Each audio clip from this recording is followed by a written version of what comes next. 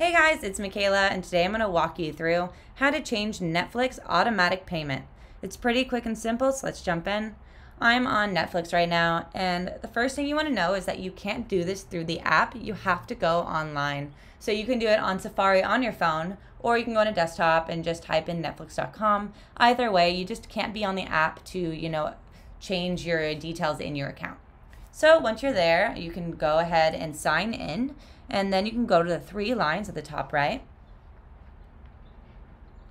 It will give you a bunch of different options, but right underneath your profile, it will say account and go ahead and click on that.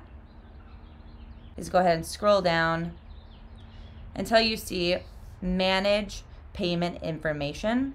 And under manage payment information, it gives you a couple of different options. Um, it says add a backup payment. That is if you want to, you know, add a backup to your automatic payment. Um, underneath that is billing details, which just, you know, the details of your billing information. And but then right underneath that it says change billing day. If you wanted to change the day you got automatically paid or, or automatically charged, you can go ahead and click on that. And you can change the date by just going through and scrolling through and changing the date or you can keep it on the 15th, which is their go-to day.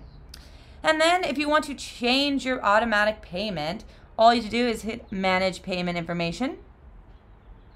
And here it gives you the option to go ahead and add a different payment method. and You just click on that box. And then you just go through the details here, either through PayPal or credit card, and set it up, and it saves as your new automatic payment credit card.